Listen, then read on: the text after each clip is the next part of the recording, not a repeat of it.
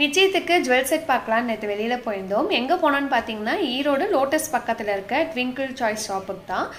இவங்க தான் பார்த்தீங்கன்னா Keerthi shop owner first time பேசுகிற மாதிரி இல்லை. அவ்வளோ ஜோவியலாக வந்து பேசினாங்க. ஸோ நாங்கள் வந்து நிச்சயத்துக்கு ரொம்ப மினிமலிஸ்டிக்காக at the same time eye கேட்சாக இருக்கணும் அப்படிங்கிறதா பார்த்து சூஸ் பண்ணோம். கோல்டு பேஸ்டாக வந்து போய்க்கலான்னு தான் வந்து பார்த்துருந்தோம். அபி வந்து அவளுக்கு பிடிச்சதா எல்லாமே வந்து செலக்ட் பண்ணி எடுத்து வச்சிருந்தா. இவங்க கிட்ட செட் எல்லாமே பார்த்தீங்கன்னா கோல்டை ரிப்ளிகேட் பண்ணுற மாதிரியே வச்சு வச்சுருந்தாங்க. கோல்டு டைமண்ட் இப்போ ட்ரெண்டிங்கில் இருக்க விக்டோரியன் செட் கூட வந்து கிடைக்குது. ரெண்டுக்கு இருக்குது சேல்ஸுக்கும் குட்டி குட்டி செட்டில் வந்து பெரிய செட் வரைக்குமே வச்சுருக்காங்க. ஸோ இவங்க டீட்டெயில்ஸ் வந்து கமெண்ட் அண்ட் டிஸ்கிரிப்ஷனில் கொடுக்குறேன். இன்ஸ்டாவில் பேஜ் டேக் பண்ணுறேன் ஈரோடு நியரில் இருந்தால் சேவ் பண்ணி யூஸ் பண்ணிக்கோங்க.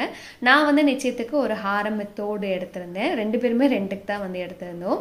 நேற்று வீடியோவில் நிறைய பேர் வந்து ரெட் சாரின்னு வந்து கரெக்டாக சொல்லியிருந்தீங்க. அதான் எடுத்திருந்தேன். அண்ட் என்னோட குர்த்தி டீட்டெயில்ஸுமே வந்து டிஸ்கிரிப்ஷனில் கொடுக்குறேன். இன்ஸ்டாலே பேஜ் டேக் பண்ணுறேன்